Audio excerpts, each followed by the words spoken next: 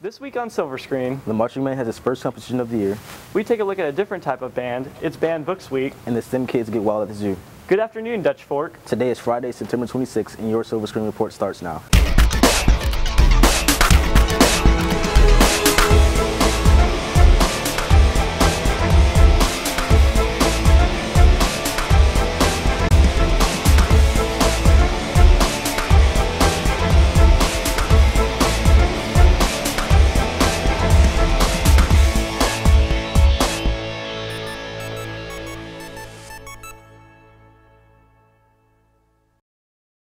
Center has a wealth of books, but every now and again, some books are in danger of removal.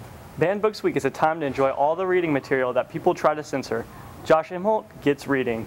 When most people think of censorship, the first thing that comes to their mind isn't their school library. The sad truth is, every year books are challenged and removed from media centers across America for containing material deemed inappropriate. Banned Books Week is um, a celebration throughout the whole United States, um, really kind of hosted by the American Library Association originally, but a lot of other people have joined and a lot of other groups have joined in the past few years. I think it started in 1982 because um, the American Library Association realized people were starting to do a lot of censoring of what was being read in schools and public libraries and decided to draw attention to that fact. What Banned Books Week does is celebrate books that have been challenged due to their content. It is a time for students to overcome censorship barriers and enjoy reading books of any kind.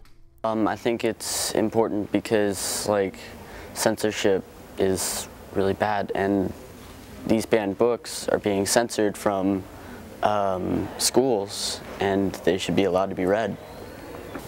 it's like some of those stories are like real good stories and it's just like really enjoyable.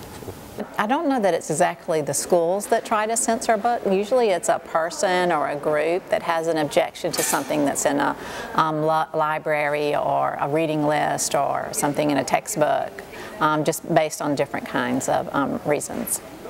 Every year, more books are challenged, from Harry Potter to Catcher in the Rye. But with Banned Books Week promoting the disadvantages of censorship, everyone can feel assured that their favorite books will stay in libraries for years to come. But, you know, as Americans, we um, have the First Amendment, which gives us a lot of freedoms to do things in America that you can't do in other countries. And so if we censor books, that's taking away one of our intellectual freedoms. This has been Josh Imholt for your Silver Screen Report. For this week's Kids in the Hall, we asked students about their favorite banned books.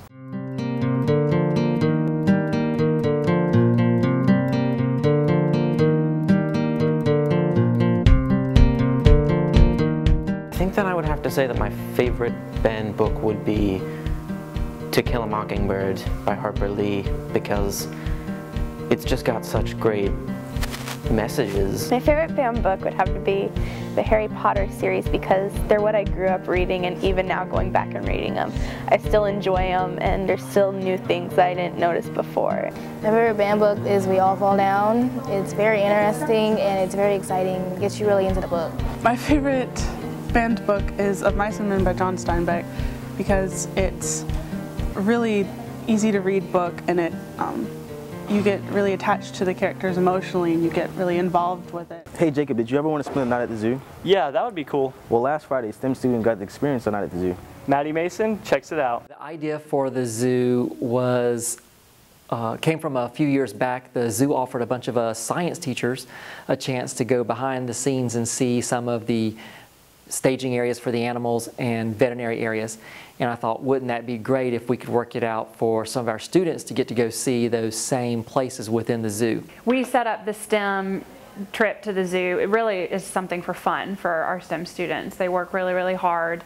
Um, and it's just a time for them to kind of relax and, and do something that's fun but educational at the same time. We saw different animals that were in like their habitats at the zoo at night. We saw um, like what they, how they store some of the animals and how they take care of them. We got to go behind the scenes um, on some of the different areas. So we got to go behind the scenes on the aquarium and see um, the top of the large tank that they have there.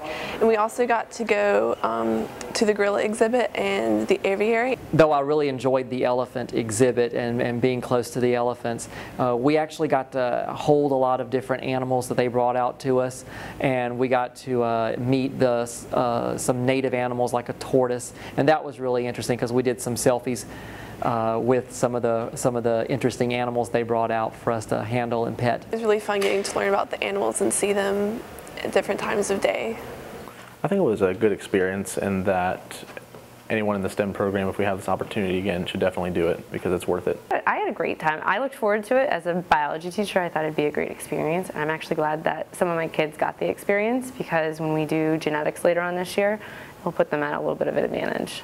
We are constantly looking for ways in the STEM program to expand the student experience and they work so hard in the classroom and we like to come up with additional activities for them to do outside of the classroom that expands their, their, uh, their, the STEM lessons into a context outside of the classroom. This has been Maddie Mason with your Silver Screen Report. The sounds of clarinets, tubas, and drums resonated throughout Pendleton, South Carolina last Saturday. Malik Walker has a recap of the band's first competition under the direction of Paul Clayton. Notes ring out and the crowd cheers as the band takes the field for its first competition of the school year. Although the competition isn't new to the band, it is to director Paul Clayton, who makes his first appearance with the Silver Spirit Marching Band. We were competed in Class 3A at Pendleton, and we got high, highest music, highest visual, and highest percussion in our class. Really well. We got third overall, which is awesome for first competition. From bonding to acquiring skills, members benefit from the experience. The social aspect of marching band, it's really fun because you spend basically all day, all week with the people in marching band. It's kind of like a family. We've gotten really close to like the friends that I've already have, and we see each other a lot. Marching band's taught me a lot about leadership because I'm participating in the leadership thing, so I've learned a lot about that. I've always liked music and I like being able to make my own and just the social aspect is fun too. Band practices regularly and competes every Saturday. Rain or, or shine, we're out there practicing. I do things from playing, warming up. Um, we've been practicing for a long time now. During two weeks in the summer, we had band camp, which was all every day till 8, from 8 to 8. The basics to marching the show. Very demanding mentally and physically for all of us involved. Just making sure things are getting right. This has been Malik Walker with your Silver Screen Report. The SAT word of the week is virtuoso, a noun meaning one who excels in an art or a highly skilled musical performer. Hey Jacob, Wednesdays sure are a popular day for club and organization meetings. They certainly are. One of those clubs is the Literary Magazine. Here's Lacey Jeter with more. Writing, artwork, and design. The Revelations Literary Magazine staff is busy at work once again. The first step is to go through everything that has been submitted, like all the writings and the artworks, and there is a um, rubric that we go through so that we can rate different pieces and we pick what's going to be in the magazine.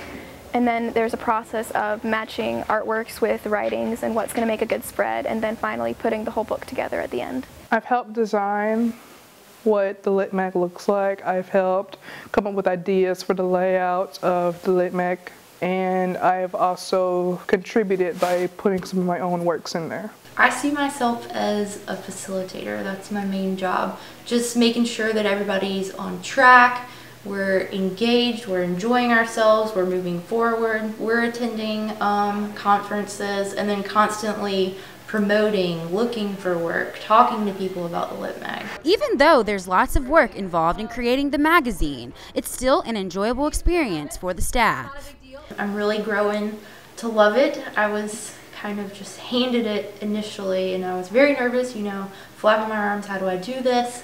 But it's just all coming together. I'm learning from the students, I've gone to conferences, and I'm just really enjoying it. My favorite thing about Lit Mag is probably just putting together all the spreads and seeing it come together and finally form that like final book that gets sent off to the printer. The year I actually wasn't in Lit Mag, I got two of my works put into it and it was nice having people who I didn't know come up and talk to me about my writing. Anyone is free to join. I would encourage other people to look at it and realize that it actually exists because most people don't know what it is or what, what we do. Anyone who has a particular interest in writing or any kind of other arts, objects like that, photography, drawing, they can all come together and put all their creations into this magazine for all the student body to enjoy. If you want to join Lit Mag, just come to our meetings on Wednesday after school.